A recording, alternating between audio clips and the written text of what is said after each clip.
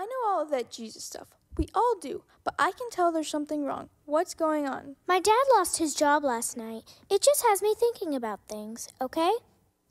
Oh, Kelly, I'm so sorry. It wasn't long ago that my parents' business stopped making money, but it all worked out. I'm sure everything will work out. I'm not even worried about it that much. It just really made me think about how selfish I get this time of year. I mean, my dad lost his job, and I'm sure his biggest concern is making sure he meets my expectations for Christmas. I never really thought about it that way. We all know the true story of Christmas. Why do we act like this at Christmas? I wonder what it was like at the first Christmas. Did they know what was happening? Did they realize how special this day was?